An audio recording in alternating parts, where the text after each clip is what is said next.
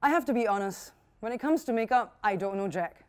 The brushes, the lotions, the potions, what goes where, I don't know. So there's this one group of people that I have nothing but admiration for, and they are the drag queens. The way they move, the way they walk, the way they talk, the sexiness, the sassiness, the humor, that's all I want to be. So today, I've invited a drag family, the House of Miss Joaquim, to come and tell us everything that we want to know about the drag world. And at the end of the show, they will actually help me find my drag persona and help me get in touch with my feminine side. I'm Olinda, this is Oliginal, and we're kicking off season two with the Drag Queens! Let's go!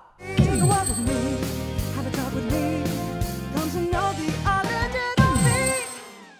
Hi, I'm Ollie, and this is Oliginal, and today I would like to introduce you the family of fabulous people from the house of Miss Joaquim. We have Vanda Miss Joaquim, Yes, darling. and we have Ariana Conda, Hi. Farah Shamrock, Hi. and Dahlia Rose. Hello. So, Hey, girl. hi, hi, hi. ladies. Hello. Hello. I would like to. There's so much that I want to know, and there's so mm. much that I don't know. Tell me mm. everything. What do you want to know?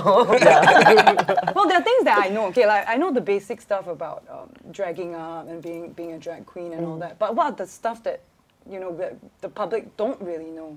Well, I think that they only just see us on the surface. Like, um, they think they, we just want to dress up as females and stuff like that. But they don't know that this take a lot of work. This take hours. This take how many hours? This I think like a decade, ten years. You take ne- ten years and still look like this.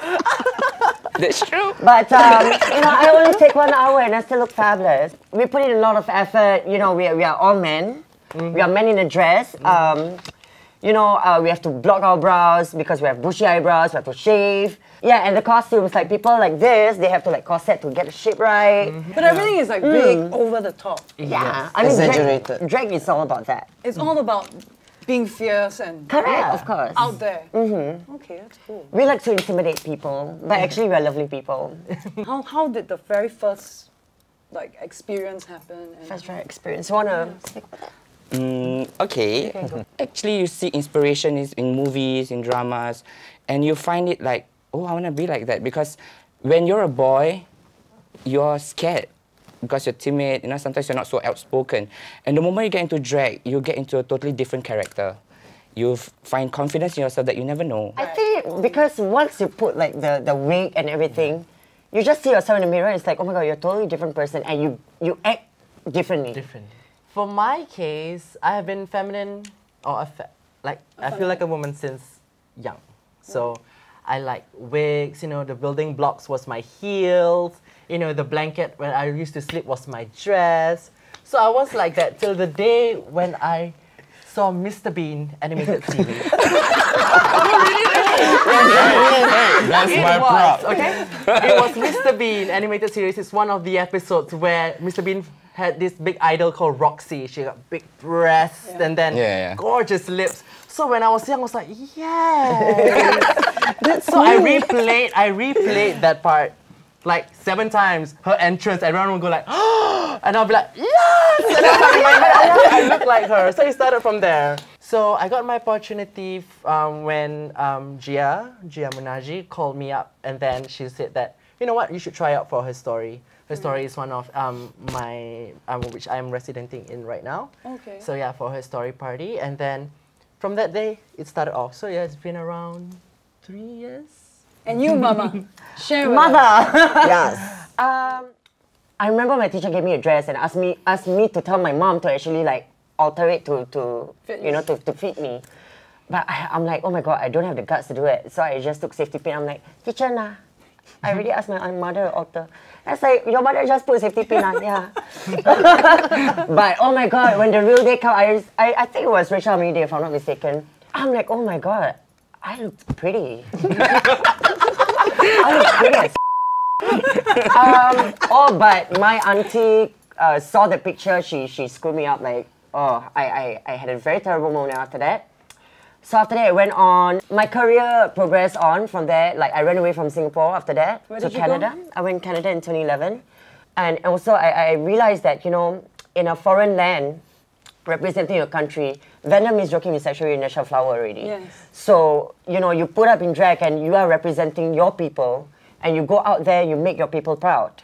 So that's why I, I uh, came out with the name Vanda Miss Joaquim. Then I came back to Singapore and, you know, it just went on and on and on. I'm pretty sure that the journey that you took was never easy. Oh, So, It what are the was- difficult the difficulties that you've faced taking this path that you've chosen? I think for my case, I think most of us is um, it hurts. Not say it hurts. It affects everyone, not just family, friends, and so and relationship wise too. So um, I think based on family, I think some of us um, they don't understand why we do this and against religion stuff like that. So um, yeah, there will always be feuds within our family itself. And then for friends, some of them like they're not into feminine people and stuff like that, and sometimes they can't handle the overness that we are having. Community-wise, outside the public, I think it's opening up slowly. Correct. It's opening up slowly. Um, but there are still hate out there, and then people who thinks that oh you are wrong, you know you're, you're you should not dress as a woman, you are a man, act like a man, walk like a man. You when men don't wear makeup, stuff like that is still going on. Yeah. So, what is one thing that Singaporeans don't know about drag queens? I think Singapore needs to know that we are all drag is not exp- it's not cheap. Yeah. And then, um, if you're thinking that drag is something you do for fun, it's actually a source of business, All these are investments. investments. So I think, moving forward, I think Singaporeans who are interested in getting drag queens or performers like us um, should have in mind that these are quality performances. It's not something like, oh, we're just gonna get a man in a dress and then pay him one hundred dollars and then we can do a show. I think respect us. Uh, don't touch our hair. Yeah. Yes. Don't touch our face. Do they do Don't- that? Oh my god. Oh my god. Oh my god. Hold my shit. Oh my god. Oh my god. Why so bodoh? Yeah. Okay, so that being said, how can drag educate and change our society? Mm-hmm. I think right now, especially in Singapore, we're living in quite a conservative country. Yeah. Whereby the older generation, the heterosexuals one, like even our parents per se, they're not so open to this kind of things. My mom, I love her to death. Mm. I just want her to know that I'm happier this way when I'm performing. Mm. Um, she ha- has that mentality whereby gays or queer people or even drag queens is somehow A sin. a s- uh, not just a sin, we are on a lower level than normal human beings. But also, I think also like some parents will take time. Yeah. I mean, like my mom at first, when she got to know that I, I do this, she turned the whole house upside down and stuff and stuff like that. So, but it'll take years uh, to make her realize that I'm doing this solely because uh, it's passion, um, it's just performing, and it pays my bills. That's it. And also to educate these girls. So all that being said, it's my turn now to be a fully empowered woman. So make me strong, make me fierce. Yes. Yes, Yes. we're gonna drag you up, Ladies, it's all up to you. Yes, my face is in your hands. Yes, girls. Shall we? Let's do this. So let's go, girls. Make me the woman I was meant to be. So, uh, I'm gonna remove your makeup, All right. your everyday makeup. I don't have any makeup. I woke up like this. Oh, I forgot to ask about the drag slangs. Slangs? Oh, the What are different the slangs? Tell me about terms. it. Okay, like Singaporean, we like nya, Yeah. all that. Nya is like, like hey Girl. girl, Nia. nya.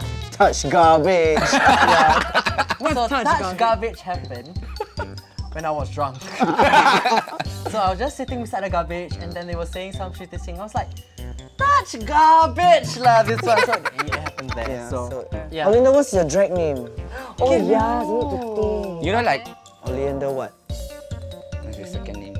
Oleander Bloom. Oh,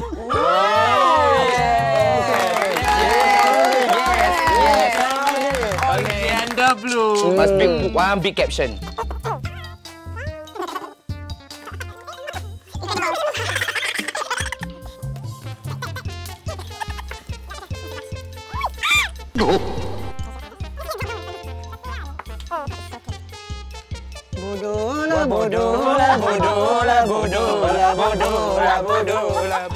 Hey, hurry up, lah. I want to put sorry. I have a diploma, okay? So, Exactly. Even had, with diploma also you like that. You just read yourself, darling. I'm sorry. All right, we're gonna do the final touches. Yes, girl.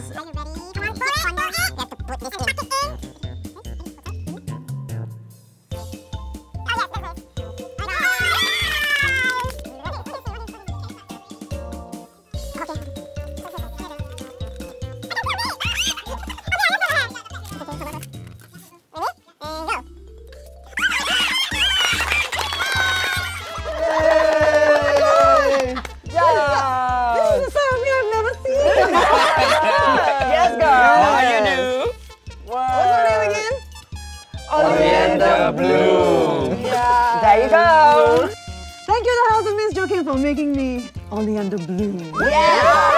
I couldn't, I couldn't have done it without you girls. I don't, touch garbage. garbage. Don't touch garbage. Thank you for watching Oliginal. Goodbye.